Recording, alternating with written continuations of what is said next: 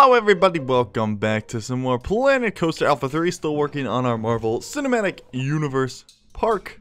Oh man.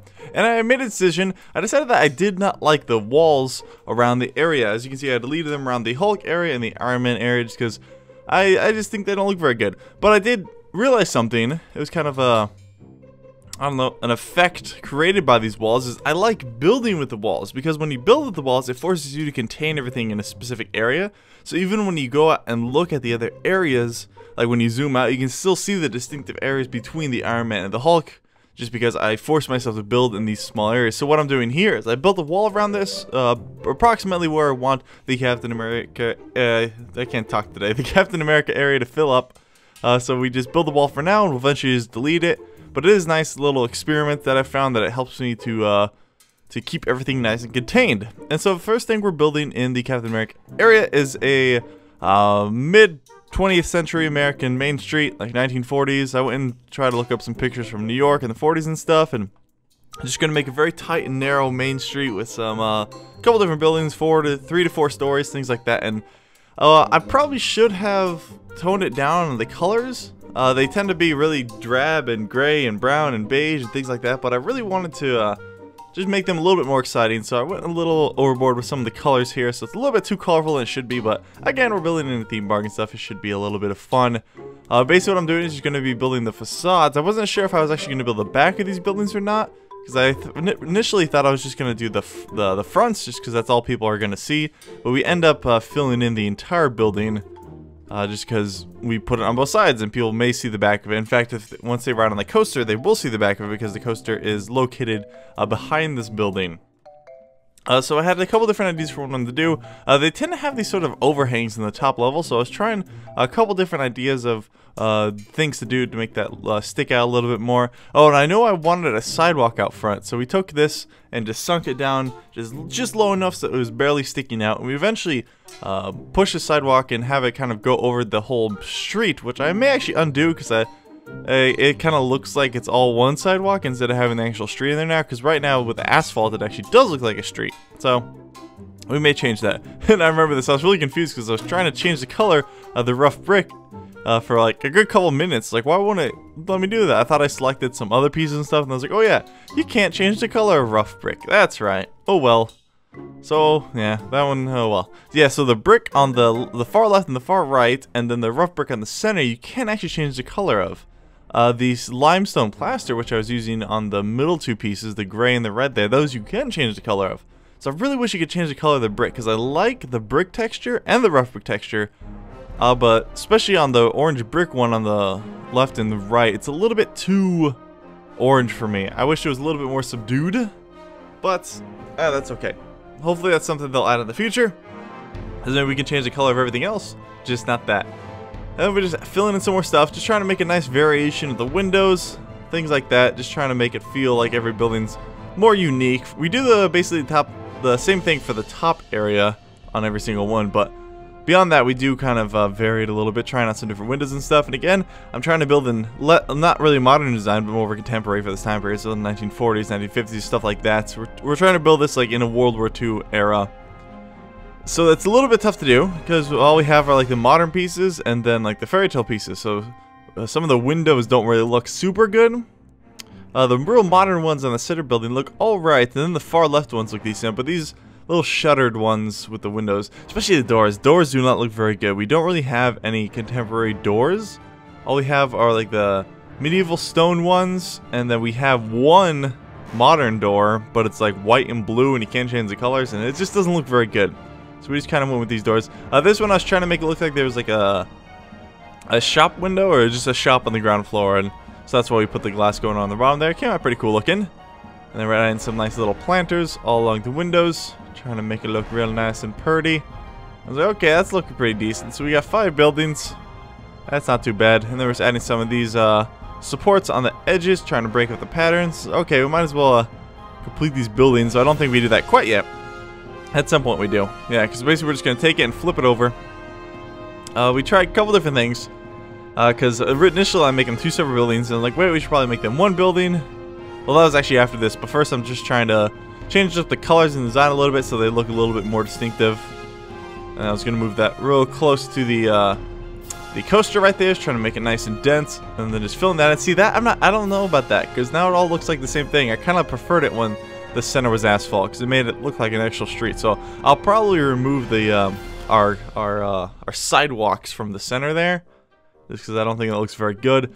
Uh, but now I'm deciding to uh, go ahead and fill in the back of the buildings, despite the fact that I just copied and pasted it from over there. So we're gonna have to delete the other side and then copy and paste it back over.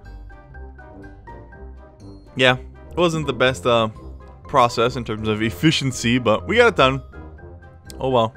Yep, so there we go. We just delete that, and they're okay. Just copy and paste this. Put this back over here. let's change the color of these things once again, and put the balconies back up. I think the white looks better than the red we had earlier, so all good in the hood. But there we go. And I know some people have expressed interest in things like uh, me doing tutorials on the controls and stuff, because I do a lot of stuff that people aren't 100% sure about, which actually did take me a while to learn, like a while to master. So uh, once we get closer to release to the Planet Coaster uh, open gameplay, well I guess the full release of the game, maybe, probably even the beta, I'll probably do some videos on. Um, just going over the control schemes and like tips and tricks. I'm sure I don't want to do it right now just because one, not everyone has access to the game right now, especially since the alpha is no longer on sale, and two, uh, things are subject to change. The game is still in alpha. They may actually change some of these control schemes, so I don't want to make a tutorial, have it go up, and then like a year later, people watching the tutorial and like, wait, none of this is working, because that's happened before. one of my uh, one of my older videos, like two years old at this point, I've made a video on um, mods for a game called Banished, and uh, I get comments still like probably every week. People talk like yelling at me saying, "No, no, this is right." I'm like, "Well, the video's like two years old." And these were mods made by like random people that don't really keep up with the mods anymore, so everything's subject to change. I need to put like a disclaimer on everything. I need to get one of those really fast talking guys like you hear in the radio commercials, like APR financing, 4.0, things like that. Maybe I can just speed my voice up. Do those, you think those guys speed their voices up when they do um like those really fast voiceovers on the radio? I don't know. What am I talking about now? Sorry. Oh yeah, oh we're playing a video game. Alright, so I decided to put a Ferris wheel over here. Not I did it again. We do put a Ferris wheel later, but first we put a carousel. It's because I'm trying to look for some more uh, contemporary rides and stuff that would fit this period. And they had uh, Ferris wheels and carousels and stuff, so I thought they looked kind of nice. We're going with a real classical uh, decorating style for um, theme parks of the era. Just a lot of nice big flowers and bushes. For this pad, I was kind of inspired by the entryway to Disneyland. If you guys have ever been there, and they have the giant flower beds and stuff with the Mickeys made out of the flowers. So, eh, they came out looking all right. Just real simple idea. And now I did want to put my first coaster of the, of the, well, I guess it's not the first coaster. I was going to say the first coaster of the Captain America area, but since it's only going to be one coaster, it's the only coaster of the Captain America area. And of course, we went with the American era, because I mean, come on, it's already red, white, and blue. It's all good. And then for the uh, coaster housing, I was conflicted. So, it doesn't look great because it doesn't really match the coaster because the coaster is red, white, and blue. But for the for the housing, I wanted to make it some sort of like uh, World War II like military base with this kind of like a large tent structure. And it, it's different than what we've done. You'll you'll see soon because right now it looks very similar to what we've been doing. It's just like just a cube a flat roof, but we do mix it up starting now, and it looks all right. It it doesn't look that great to me actually. Uh, it definitely does not go well with the uh, red, white, and blue coaster, but once we do the actual setting uh, for this coaster, we're going to make a World War II battlefield right here. It, it's alright looking. We'll see. Let me know what you guys think. I know it doesn't really match red, white, and blue, but oh well. And for the, the actual whole landscape here where we build the World War II battlefield, there are going to be people telling me, again, it's not super accurate. Again, not super interested in it.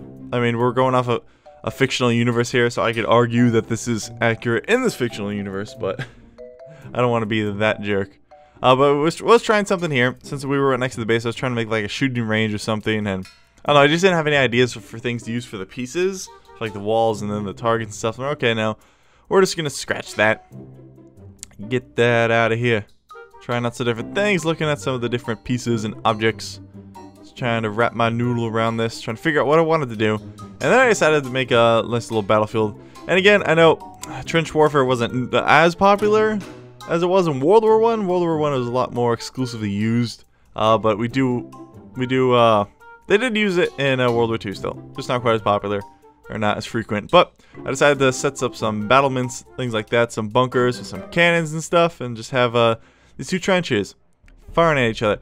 And I considered using the animatronic pirates as the soldiers, but they just looked really dumb. I didn't like them, so I decided not to. Uh, we took some of these exploding barrels, kind of put them uh, all around the area, trying to make it look like they're exploding shells, things like that. This part actually comes out pretty cool looking. We do a lot of cool stuff with the landscape and things like that. I am pretty happy with it.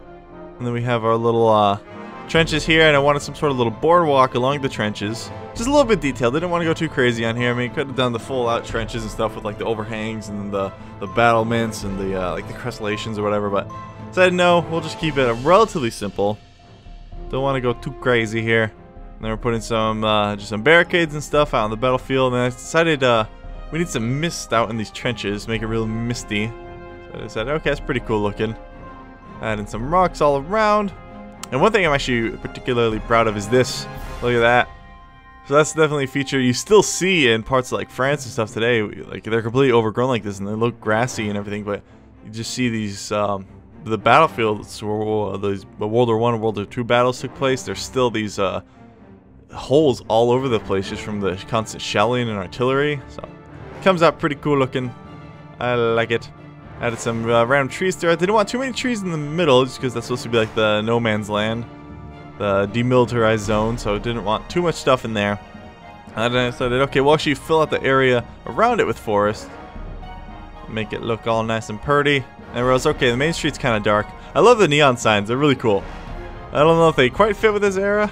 did they have, I guess they technically had neon signs. Or maybe maybe a little early for neon signs. Um, I'm going like 1942, things like that, so. Oh well.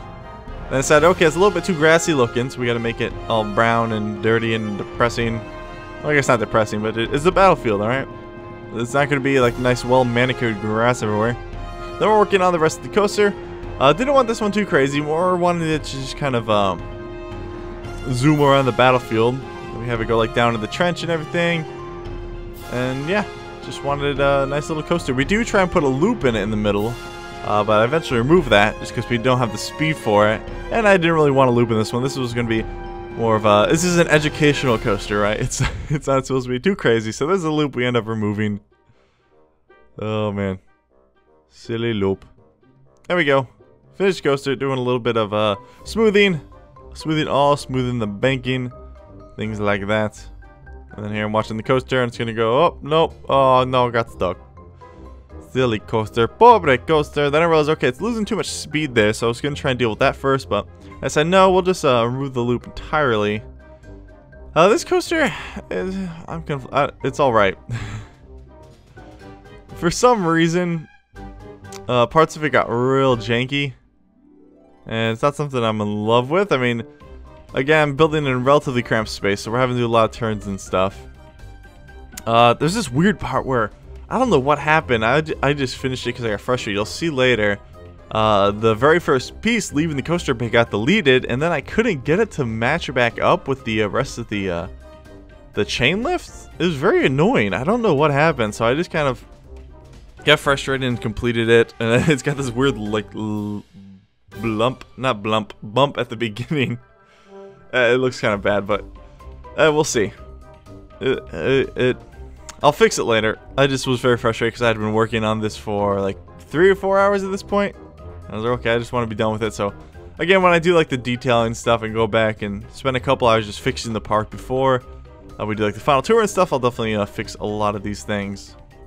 Yeah, but the coaster area is basically done. We probably had some more trees and stuff throughout there, but now I wanted to just add a nice little Ferris wheel over here. And I do eventually change the color of the Ferris wheel and the merry-go-round. I think I did off camera, but you'll see the Ferris wheel in the final walkthrough.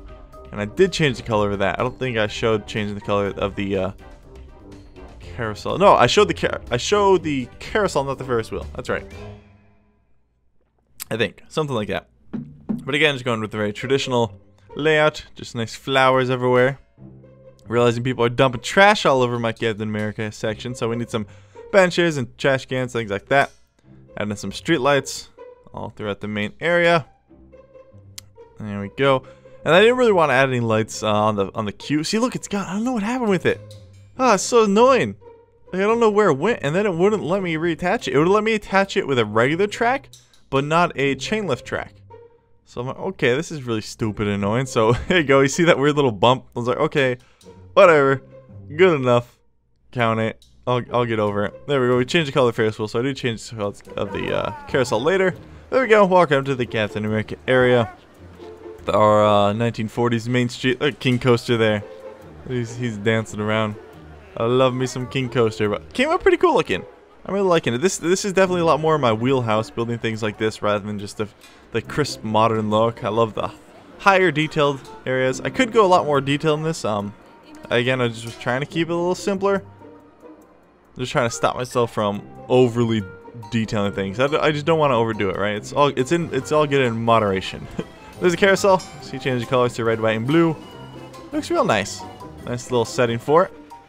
And then we ride uh, the Captain America coaster. You need a name for this. Oh, I picked names for the other ones. Um, the Iron Man one, someone suggested was Test Flight. That was a good one. And then uh, the Hulk one was um.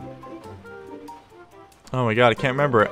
I picked someone. Oh my god, I picked someone's. I just can't remember it. Dang it. Alright, well, hopefully I'll remember to tell you guys in the next video. I gotta go look it up again. Gotta go sift through all the comments. But yeah, guys, that will be it for this episode of Planet Coaster. Make sure to leave a like if you enjoyed, or leave a comment, or leave something to let me know. Or just, or just say hi. Just say hi, C-Top, how are you? And I'll say, I'm good, how are you? And you'll say, that wasn't a very detailed response. I don't think you actually care. And I say, I do. I don't know what's going on. I'm just trying to stall to get to the end of the coast. Whoop, little loop there. Oh, I forgot to bank this upcoming part. I totally meant to bank this. Sorry. I will do that off camera. Once again. Alright guys, I'll see you next time. Bye.